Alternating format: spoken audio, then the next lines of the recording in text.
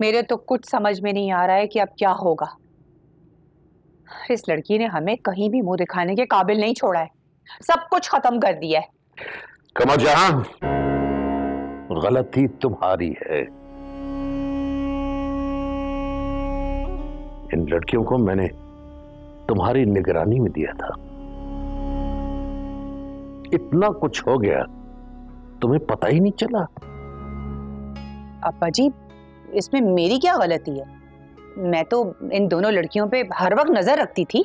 क्या खाक नज़र रखी है? अलिशबा ने छुपके निकाह कर दिया। और खानदान के लिए बदनामी का दाग लिए बैठी है। और तुम्हें पता ही नहीं चला। इस उम्र में अब यही देखना रह गया था। मैं बूढ़ा हो गया हूँ। इसलिए अपनी तमाम जिम्मेदारियाँ तुम सबको सौंप दी थी। लेकिन तुम लोगों ने मेरा नाम और मेरी इज़्ज़त मट्टी में मिला दी। और तुम कैसे भाई हो? जिसने अपनी बहनों को खानदान की रीत और इज़्ज़त की हिफाजत करना नहीं सिखाया। इतने दिनों से ये लड़की हमें बेवकूफ़ बनाए जा रही है। कभी पेट में दर्द है, कभी मैदे में दर्द है। और मुस्कान इन दोनों लड़कियों के साथ साथ घूमती थी। अस्पताल भी वही लेके गई थी ना? पता उस लड़की को सब कुछ था। बस उसने हमें नहीं पता लगने दिया।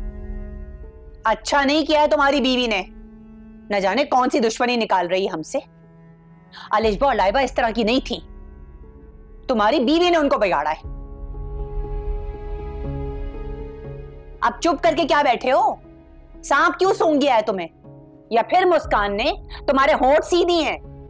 बस करो कमर शाह। बहुत हो गया तमाशा। चले जाओ तुम लोग मुझे अकेला छोड़ दो। अब देखना ये कि आगे क्या करना है। अब्बा जी मैं तो सिर्फ़ इतना कह रही बस ज़्यादा मेरा दिमाग खराब मत करो। चली जाओ यहाँ से। तुम भी जाओ।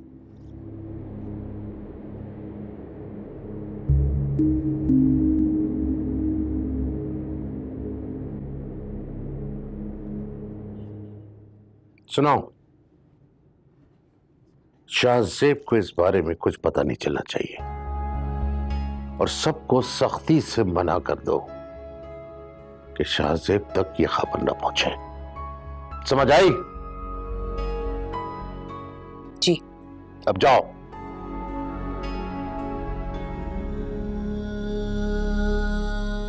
या अल्लाह किस गुनाह की सजा मिल रही है?